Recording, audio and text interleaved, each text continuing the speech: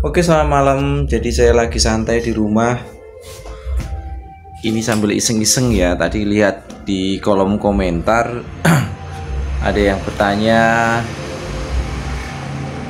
Burungnya sudah bertelur tiga kali Tapi tidak ngisi. Ini buat Mohon maaf ya buat yang sudah pengalaman. Ini skip aja. Ini eh, mohon maaf pasti teman-teman ada yang baru belajar nih ya. Kalau nggak ngisi itu masalahnya banyak.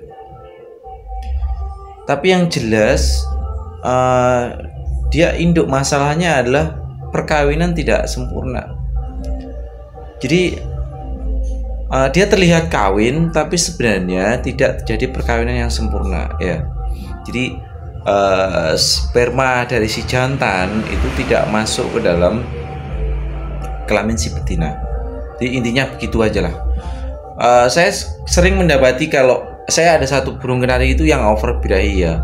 Setiap tangan saya masuk dia selalu bertengger di jari saya dan uh, dengan seperti uh, sedang melakukan perkawinan gitu ya.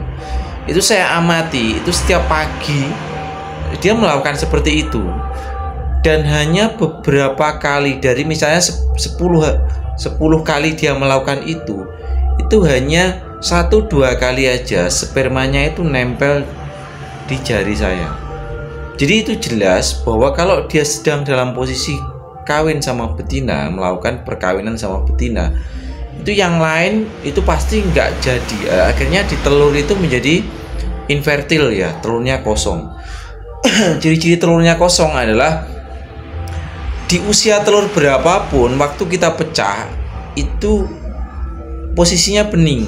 Ada kuningnya bening artinya tidak keruh. Ya itu ciri-ciri telur kosong. Teman-teman harus ketahui ya ciri-ciri telur infertil artinya tidak terjadi pembuahan. Itu telurnya usia berapapun dia kalau waktu kita pecah itu kering. Nah kalau kering itu bening.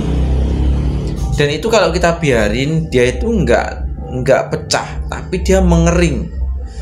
Tapi kalau embrio rusak ya embrio di dalam telur itu rusak telur itu akan keruh. Dan kalau biar kita biarkan dia akan pecah dan menimbulkan bau.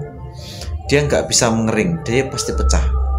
Ya itu harus kita amati. Jadi eh, jawaban saya adalah terhadap pertanyaan dari teman tadi eh, itu telurnya ah, itu tidak terjadi perkawinan yang sempurna. Jadi terlihat kawin tapi itu tidak kawin. Caranya bagaimana? Coba sekitar area kelaminnya itu bulunya digunting. Biasanya itu terjadi di kenari-kenari yang besar ya, seri F dan sebagainya. Itu bulunya tebal atau kenari lokal yang bulunya tebal jadi area kelamin itu digunting dipotong bulunya dipotong. Jadi eh, saat melakukan perkawinan dia lebih mudah. Oke ya semoga bermanfaat. Salam bermania salam lestari. Mohon maaf saya tidak menjelaskan di kandang ya karena ini malam hari gitu. Terima kasih